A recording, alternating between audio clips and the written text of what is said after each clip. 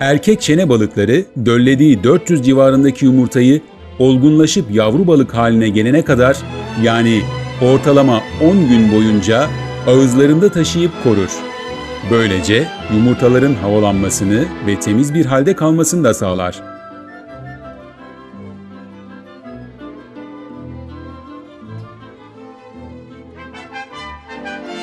Bu süre içinde beslenmez ve yumurtaların bakımı için diğer aktivitelerini yavaşlatır.